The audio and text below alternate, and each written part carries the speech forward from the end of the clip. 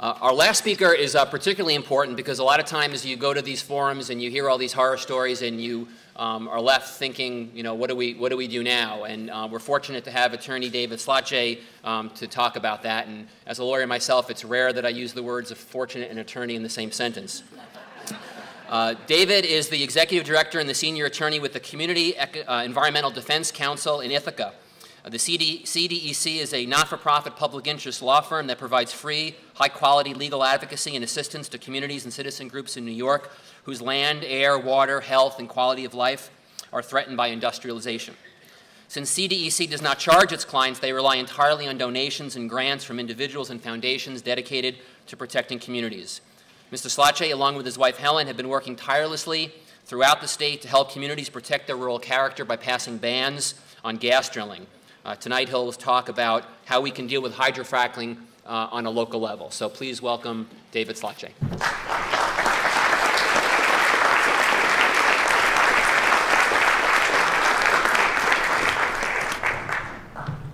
I don't know how you're supposed to follow Sandra. It's sort of, I feel like a junior high kid who uh, just won a local Battle of the Bands contest, and I have to follow Eric Clapton. Um, I'm going to stand here so I can see the slides.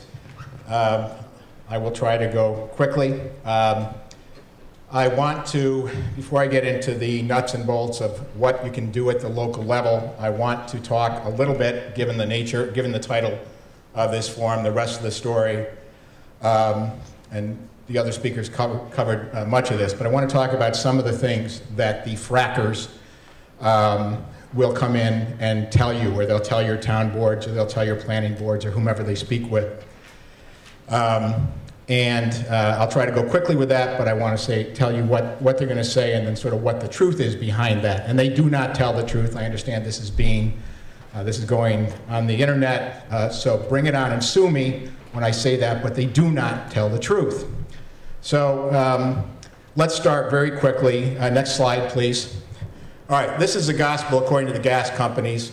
First thing they do, and by the way, this, there's generally a pattern here, and you can sort of see where you are uh, on their roadmap for your community based on how they come in and what they say to you in the beginning. Uh, they, they, always, they always start this way, and, then, and it progresses the same way in, ver in virtually every single town. First thing they, the frackers tell you is that fracking is safe. And by the way, I apologize in advance, I'm not going to read every slide tonight. But I do want to read the first few because this is, this is what they say to you, and this is what you need to know about when they come in. Fracking is safe. We do not use any hazardous chemicals or toxic substances. You can trust us. Well, they can say that to you, and they don't go to hell for saying that, because even though the chemicals they use are poisonous, are very poisonous, they are carcinogens, um, they've got, uh, our, our friends in Washington and our friends in Albany have given uh, broad exemptions to the people in, the, in this industry. Not just industry in general, but people in this industry. Not even the oil industry, just the gas industry. So you'll look at something like the Clean Water Act or the Clean Air Act or CERCLA or any sort of uh, law that you think is out there uh, to protect you that your government set, and, it'll, and it'll, it will give you a litany of, uh, of, of 26 compounds and chemicals that, for purposes of this particular law, are defined to be hazardous or are defined to be toxic. And then you'll get down to the very last, so you go A through Z, and there's 26.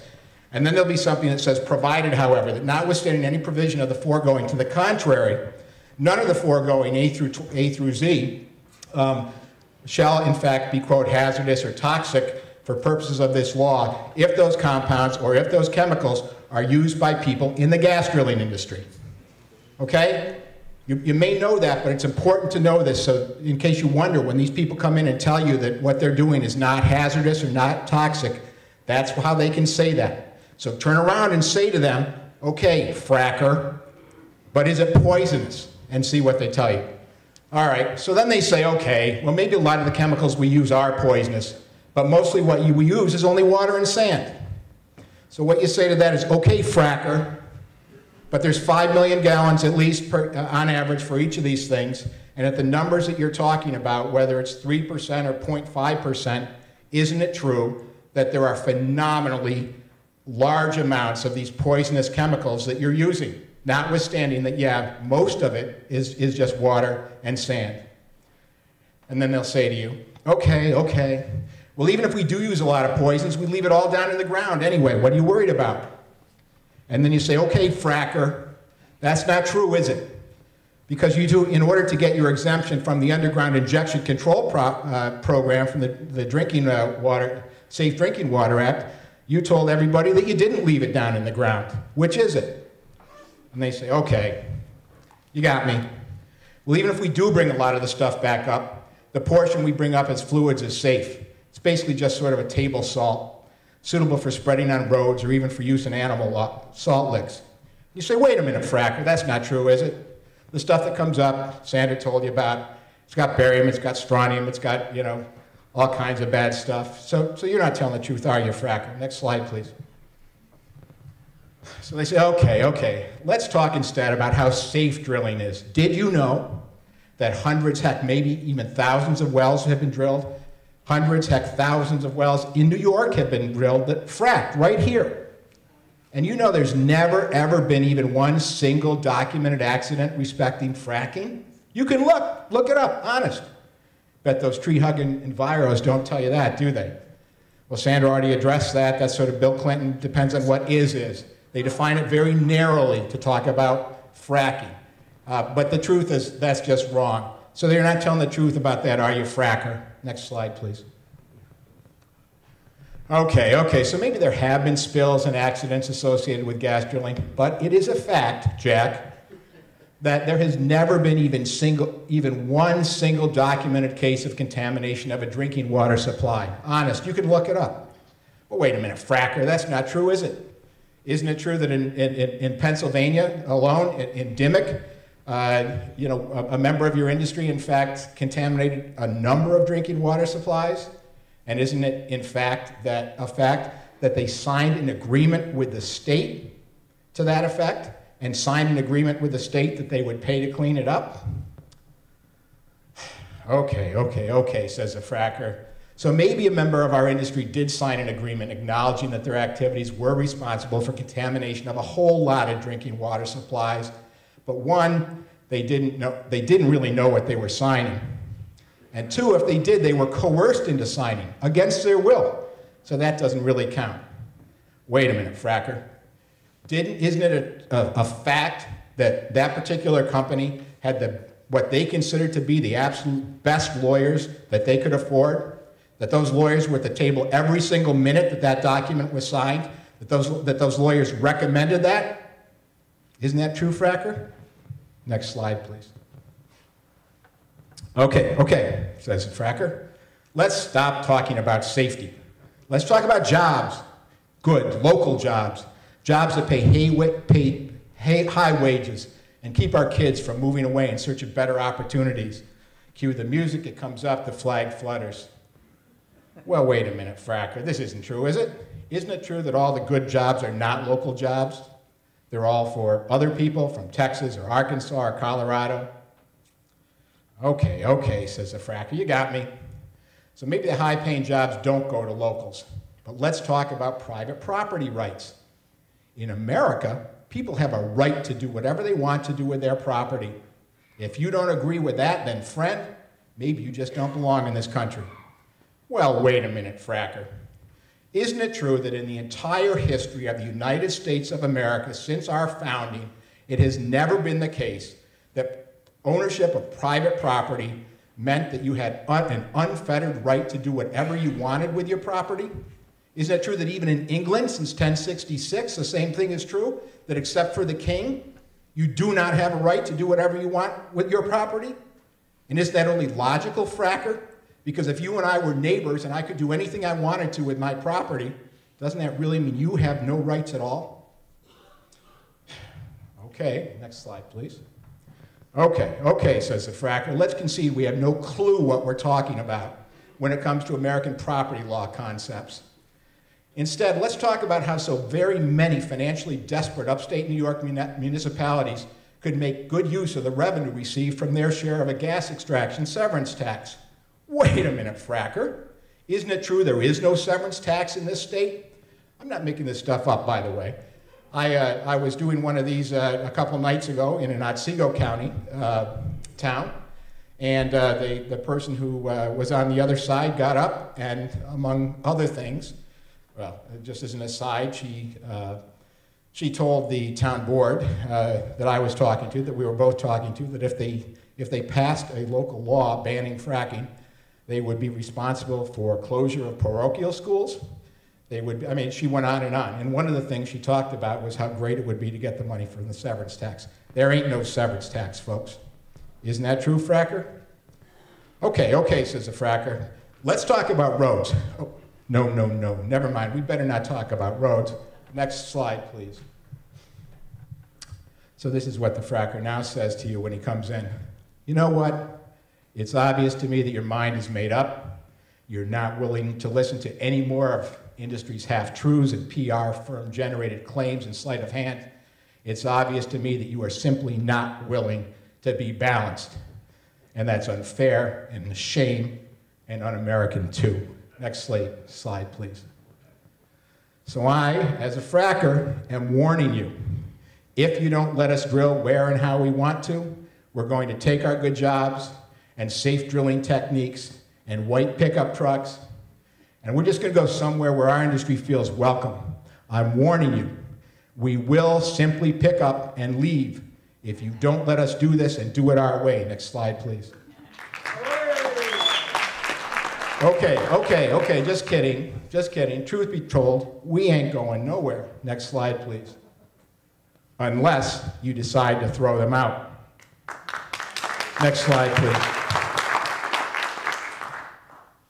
One of the most dangerous misconceptions being spread by the pro-fracking camp is that local governments do not have the power and authority to ban a particular industry from their borders. They do. Next slide, please. So what I'm going to talk about in the time that I've got left, um, I want to get through this quickly um, so that you can give uh, uh, questions uh, to the uh, other speakers is how to use your local laws to protect the health, safety, and community assets of your, of your town. Next slide, please. Um, we're going to talk very briefly about using zoning laws or laws of general applicability. Um, general, laws of general applicability means essentially that they apply everywhere within the town. Um, we're going to talk about, for you, uh, you uh, any towns here that don't have um, Zoning, we're going to talk about using police power-based laws to affect the same thing. And we're going to talk about using a moratorium to sort of uh, freeze the status quo um, while your municipality considers uh, those options. Next slide, please. Basically, what the local governments have is uh, the right to pass any laws, local laws, as long as they are not inconsistent with the state constitution or a general law of the state. Next slide, please. All right, you may have heard, uh, I want to say, I want to deviate from where I am right now very quickly. I don't know how many people in here are uh, private citizens as opposed to municipal officials. And if I did know, I would probably temper what I'm about to say. Um, but I'm going to assume that most of you are not municipal officials. Uh, with respect to the ones who are here, thank you for being here. With respect to the ones who aren't, I would urge each one of you citizens to find out why your representatives are not here. When we go to town boards and we talk to people, we sometimes run into town board members who say that they do not have an opinion on this issue. They don't have an opinion whether it's good to let fracking into their community. This is not 2008. It is not 2009. It is not 2010. It is the end of 2011. And if you've got an elected official who doesn't have an opinion on this issue right now, fire them. Fire them.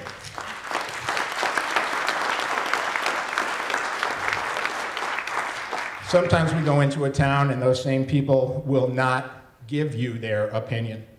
You know, I think they think there's some sort of uh, prospective Supreme Court of the United States uh, judicial nominee who is afraid to sort of weigh in on one of the, the big issues uh, in, in front of the country. Uh, they're not. They're not. They're town board or village or city council people. And if they will not tell you their opinion, on where they stand about whether fracking should be allowed into your committee, fire them. Sometimes we go into these communities and they tell you that they have done their due diligence. Oh, yeah, we've been to Pennsylvania. We've done all this stuff, and I've done my due diligence, and you know what? I'm neutral. Let me tell you something there's no such thing as neutral. If they tell you they're neutral, they're for fracking. Plain and simple, that's, that's how it works. That's how the law works on this issue. You have the right to keep them out, which we're going to talk about in a moment. But if they tell you they're neutral, they're pro fracking. And don't let them tell you they're neutral just to get past November. November's coming up, and if you're interested, you've got something you can do with November. All right, so is it true that the oil and gas drilling law statute preempts local control? What the gas, uh, what the frackers will tell you, uh, there's a law, uh, it's called uh, Environmental Con Conservation Law 230303 subsection 2. I'm going to refer to that as the gas mining law. What that says is that a local municipality is preempted, in other words, does not have the authority to enact or pass a law regulating gas drilling. Okay? So thou shalt not regulate gas drilling. Next slide, please. So what does that mean that, that uh, the power of the local uh, government is, uh, to regulate gas drilling, gas mining is superseded. Next slide, please. You can't see this. I'm not real good at PowerPoint, um, but what it is is a picture of why I went to law school, Perry Mason. Uh, actually, I went because of Della Wood.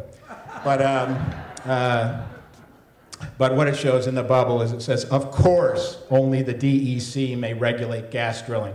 What happens is these frackers come in and they pound the table and they talk about the gas mining law and they say only the DEC may regulate drilling. Only the DEC may regulate drilling. They're right. That has nothing to do with the price of tea in China, however. Because as Perry says, that's not the end of the inquiry, is it? Is it? Please speak up, he says. The jury can't hear you. Next slide, please. So, what does relating to the regulation of, the, of gas drilling mean for preemption purposes. In New York State, the highest court of law is the Court of Appeals. Usually you hear something called the Supreme Court, but in this state, the Supreme Court is the trial court, the lower court. The highest court in New York State is the Court of Appeals. And what the Court of Appeals, the highest state, the highest court in the state of New York, has said unequivocally, albeit in a slightly different context, is that the legal effect of language virtually identical to 23032 is that while a town may not regulate the operational processes of the industry, which is the subject of such language, the town absolutely may prohibit the industry altogether. Next slide, please. The slightly different context where the highest court of the state has spoken on this issue is the context of mineral mining. Uh, mineral mining is anything from stripping topsoil to mining for sand or gravel, and then some other sexier things, as opposed to gas mining.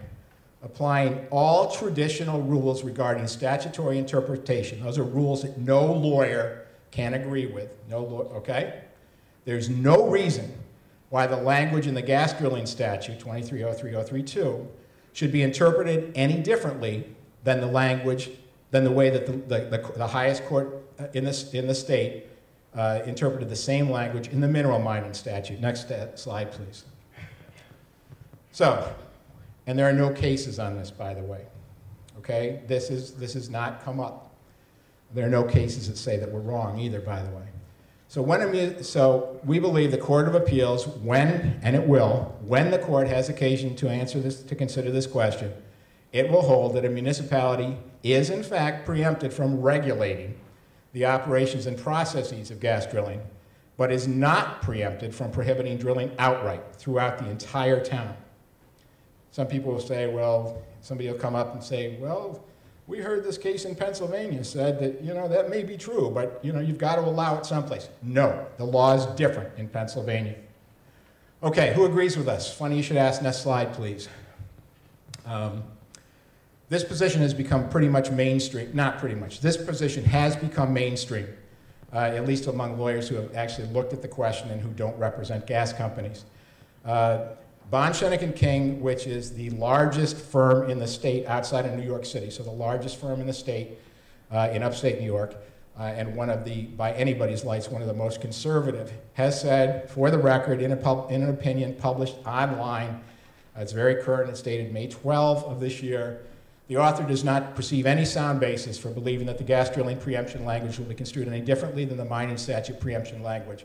That's online. By the way, anybody who wants a copy of this, uh, either as a PowerPoint or if you don't have PowerPoint and you want it as a PDF, uh, ask us later and, and you're welcome to this.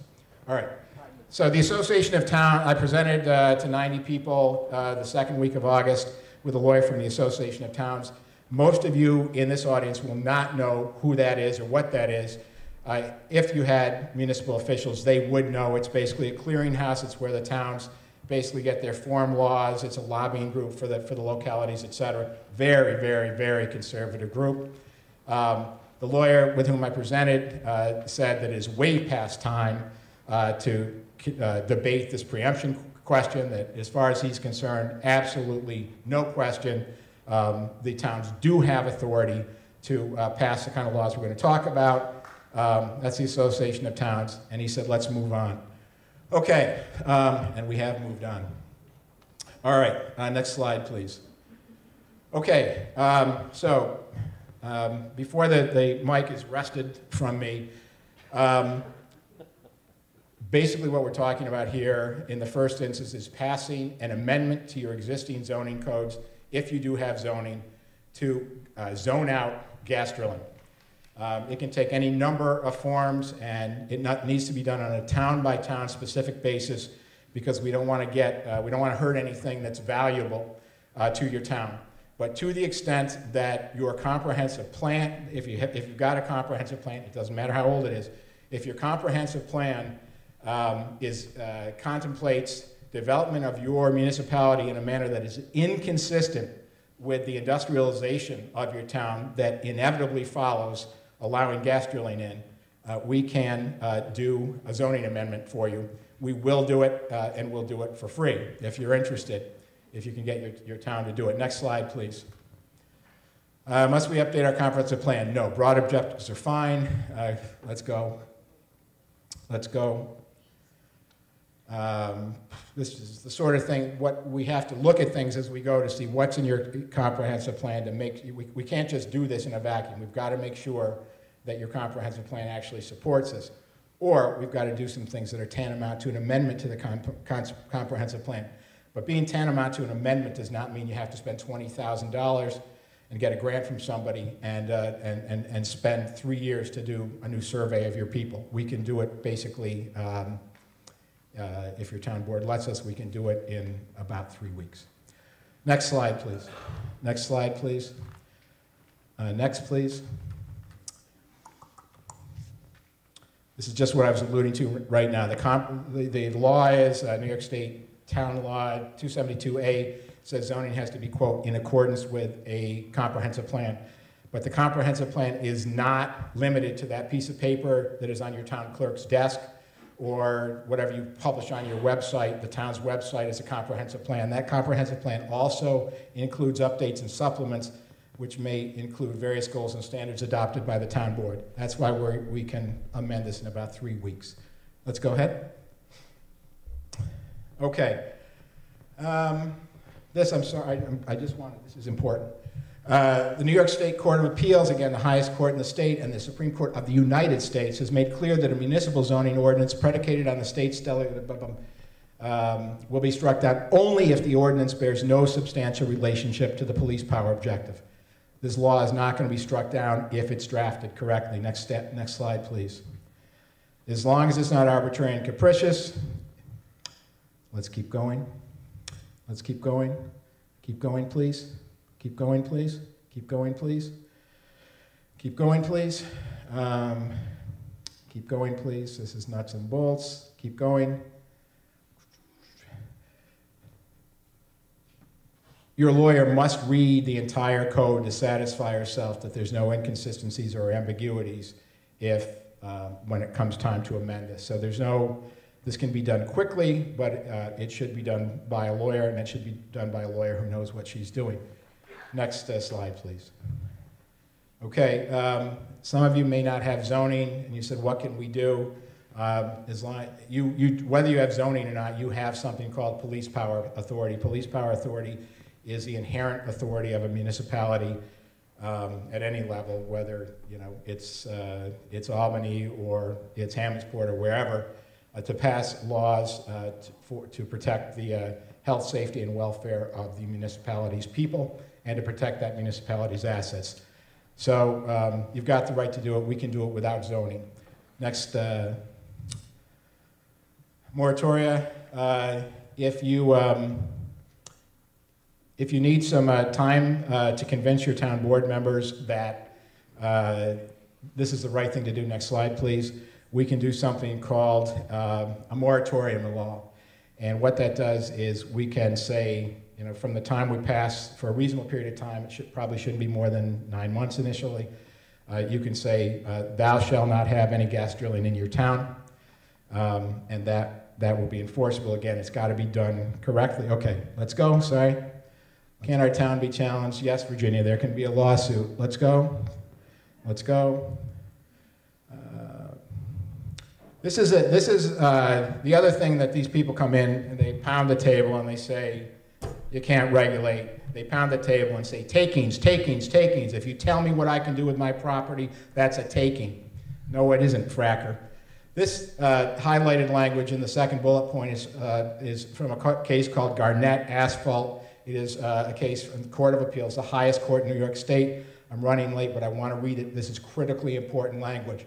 A municipality is not obligated to permit the exploitation of any and all natural resources within the town as a permitted use if limiting that use is a reasonable exercise of its police powers, which it is, to prevent damage to the rights of others and to promote the interests of the community as a whole.